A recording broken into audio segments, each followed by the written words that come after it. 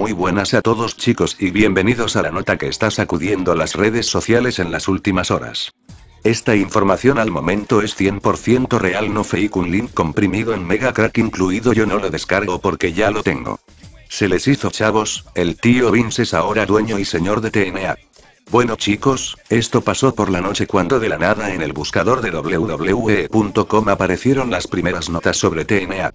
Por alguna razón antes de la noche pasada hay notas de Ring of Honor, New Japan Pro Wrestling y demás, debido a que WWE tiene tratos con estas marcas, pero TNA era completamente ajena, y no encuestros absolutamente nada relacionado a esta.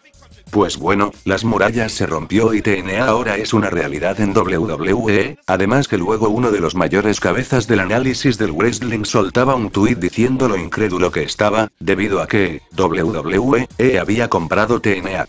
Muy bueno chavos ahora todos abrácense como hermanos y despierten sin piernas.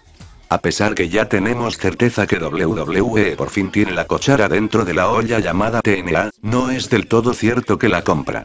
Es decir, de momento nos queda hablar que WWE era principalmente como inversionista minoritario del show, es decir, como uno de los tantos que tienen acciones dentro de la empresa, ya que teóricamente, están en ganga actual dichos derechos sobre la empresa. Aún así, Dixie Carter sigue siendo ma mayor accionista. Entonces parece que no sirve de nada ello y es la parte donde te digo que estás equivocado. WWE tal como dije en un video pasado, está muy interesado en la colección de vídeos de TNA, ya que esta contiene una gran cantidad de los orígenes de sus talentos actuales como Styles, Bobby Roode, Samoa Joe, Austin Aries, e incluso de leyendas como Sting, luchas de Christian, y por ahí con los rumorados regresos de Hogan y Angle, tendrían una bonita colección realmente.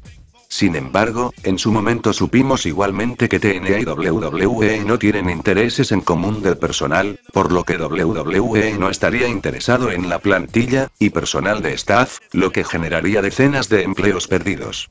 Parece que WWE en sí no está como un comprador invasivo al estilo de WCW, por lo menos no de momento, pero sí WWE estaría demasiado interesada en agregar la biblioteca de video de TNA a su colección sobre todo para darle mayor variedad a WWE Network.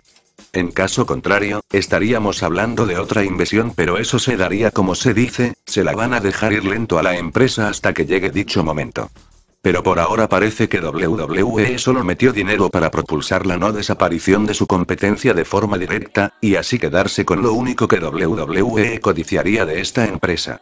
Pues bueno chavos, WWE logró lo impensable, tiene en sus manos a su rival, y lo mismo puede hacerla brillar, o bien destruirla de tajo.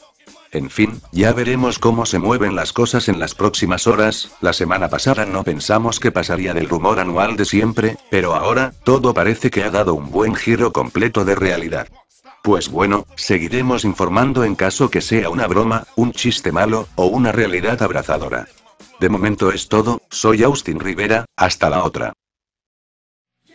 Hey, espero que el video te haya gustado. Si quieres ser un verdadero conocedor de la lucha, es simple, solo tienes que hacer clic aquí. Si lo que deseas es seguir a este hombre en las redes sociales solo da clic acá. Y si de verdad te gustó este video y quieres ver otros similares, solo pica clic acá.